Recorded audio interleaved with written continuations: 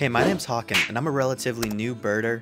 And in this episode, I head to Salt Lake City's Tracy Aviary to see a bunch of birds never seen before on this channel. At the same time, I'm still trying to complete my Birds of Utah challenge to see every single bird in this field guide, mainly trying to locate the Calliope hummingbird.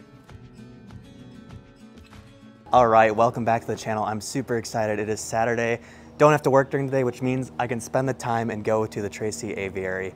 We're going to be exploring some of the birds they have here, but also looking for some wild birds, which is kind of not what you expect when you come to an aviary, but there's no net or anything over the top, so wild birds can come into the aviary. I'm really hoping that the Calliope hummingbird hung around. So obviously with this being an aviary, there's gonna be all sorts of species from around the world that you don't usually see in the channel. I'm gonna call out some of those really cool species as I see them. I probably won't film everything, but of course we are hoping we will see a lot of the birds you're used to seeing on the channel, as well as a few new ones that are native to Utah, flying in and around this beautiful vegetation and area and grounds that the aviary has set up. The Tracy Aviary is one of only two freestanding aviaries in the nation. It's located in Liberty Park, pretty close to downtown Salt Lake, and has eight acres of grounds to explore. Let's get right into the rainforest.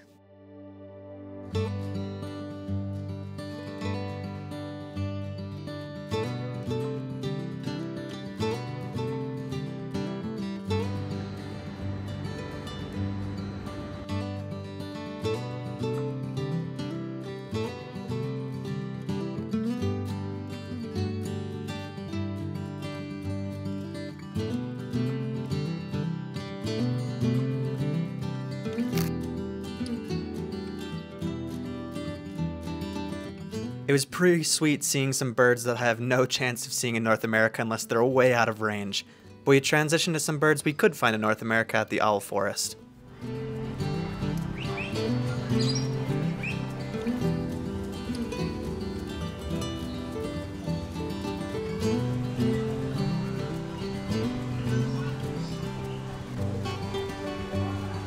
don't belong here. This is the Owl Forest. Then we move to the Kennecott Wetlands experience, which has a ton of birds that you can find in Utah. In fact, a lot of the common species that you'll see too, along with a few others mixed in.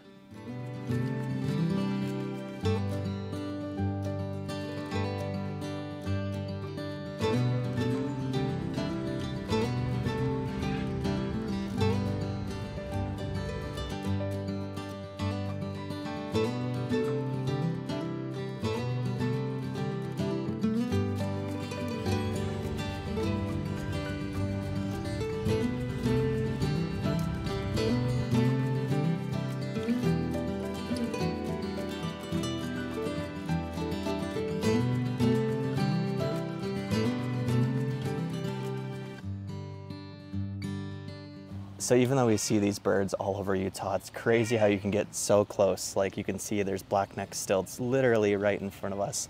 I'm able to get some of the best pictures I've ever gotten because they're just so used to people.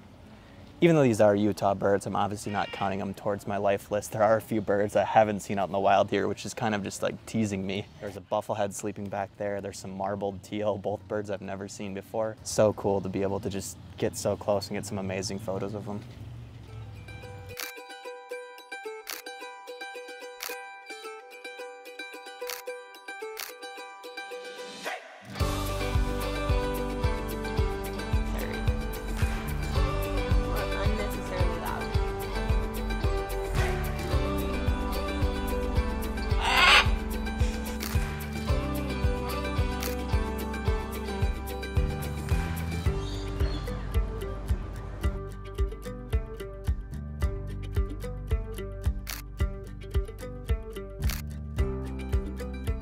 After seeing some great birds, we were moving on to the South America Pavilion. This is the area I was most excited to be at because this is where, according to another checklist submitted to eBird, a Calliope hummingbird was seen just four days earlier.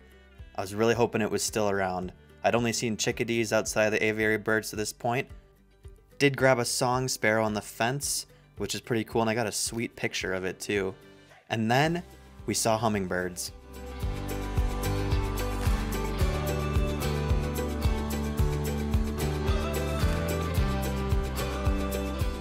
While I was incredibly pumped to see hummingbirds and get a chance at the Calliope, this immediately introduced a problem for me.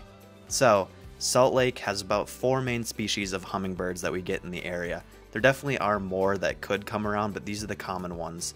I was stuck with an identification issue. Now you might be thinking, Hawkin, these are all incredibly different birds with very distinctive features. You should be able to tell them apart. While you're right. These are the fully grown males. The species I was seeing around the South America Pavilion were all female or immature birds, which look incredibly similar. Now I'm going to make things a little easier and eliminate the rufous and broad-tailed hummingbirds. I'm fairly confident that throughout the day of all the species I saw, none of them were these species, largely because the broad-tailed has a much larger tail than anything that I saw, and the rufous is generally more orange and rufous colored. Now let's note some few key differences between the black-chinned and calliope hummingbirds. The calliope hummingbird is the smallest bird in North America, so naturally it's going to be slightly smaller than the black-chinned in most cases. Not always, but in most cases. Secondly, I want you to pay attention to the bill. On both the immature and the female, the black-chinned hummingbird has a much longer bill than the calliope. You can also sometimes use the tail to tell a calliope apart. It's usually slightly shorter and when perched, the wingtips will extend past the tail a lot of times. So that's what I was looking for as I was going through all these hummingbirds. I still don't claim to be an expert though, and I would appreciate your help in the comments as I make my calls in this next part. But let's look at some hummingbirds. The first hummingbird caught me off guard and I didn't have my shutter speed dialed in, so these photos are a little bit blurry because they move so fast. I think this first one's a black-chinned. I got my settings dialed in right and spent a lot of time around the area watching all these birds zip around. As they paused to feed, I would snap pictures. This one I'm pretty confident is a black-chinned hummingbird. Longer bill, got some black on its chin. This next one perched up in a tree though I'm a little unclear. The bill looks a little shorter. This could be a calliope though I'm not 100% sure. I kept searching and waiting though. We had a few other species fly around. Again, a smaller bill and a very small looking bird. Very high potential for a calliope. This one, however, as I got some video of it, I'm pretty confident is a black-chinned. That bill is a little bit longer, its tail looks long too, and it's just a bigger, slender bird overall, so I think this one's a black-chinned.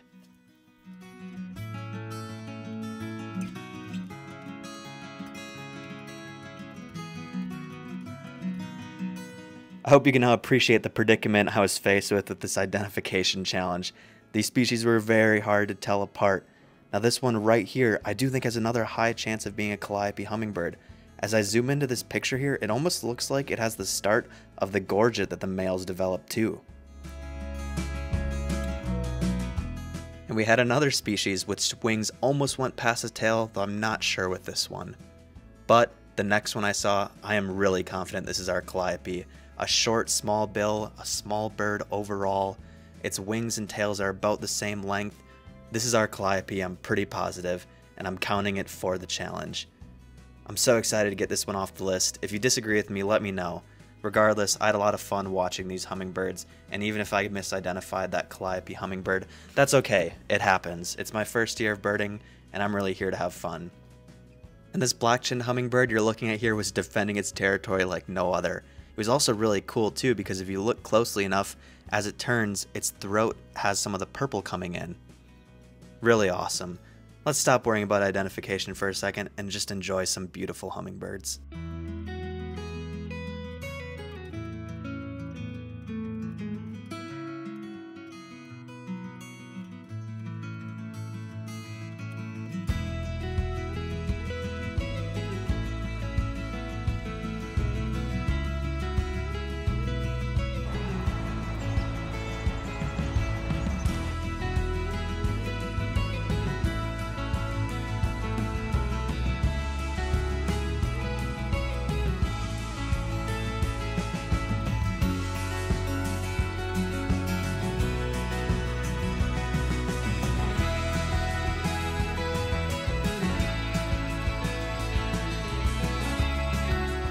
While it was hard to beat the rush of seeing the Calliope hummingbird finally, Alicia and I continued along the aviary and saw even more cool birds.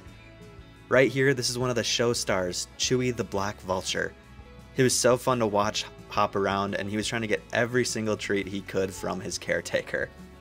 It was really fun to watch him and listen to all the cool facts that the caretaker had about Chewy and black vultures in general.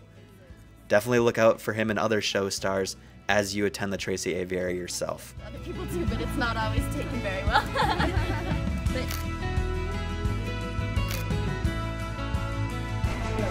but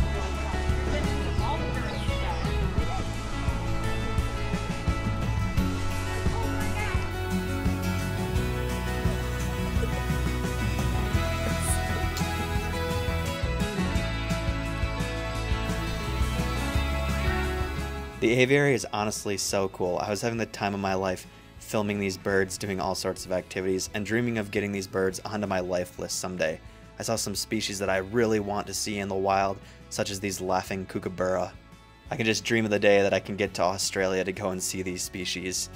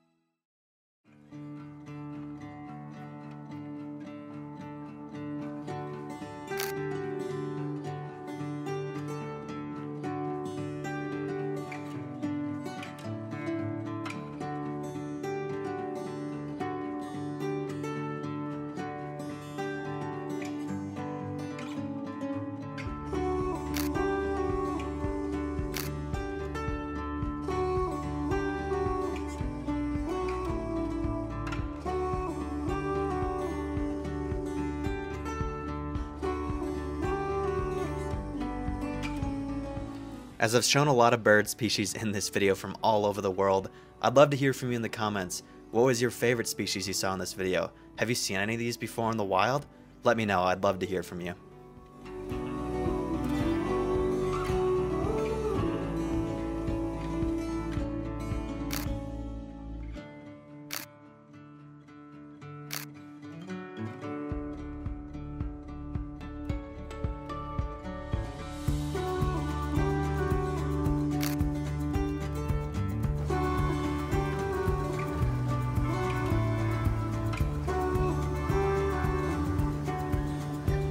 Ducks, ducks from the aviary.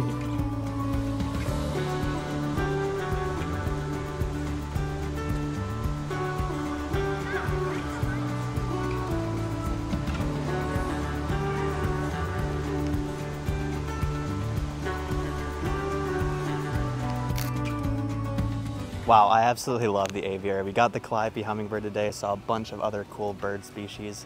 I hope you enjoyed coming along with me on this video. If you're interested, I'll put the link for the aviary in the description. You should definitely go and check it out yourself. It's a beautiful place. They do a lot of great conservation work. And they're just an awesome organization right here in Salt Lake. Thank you as always for watching, and I will see you in the next video.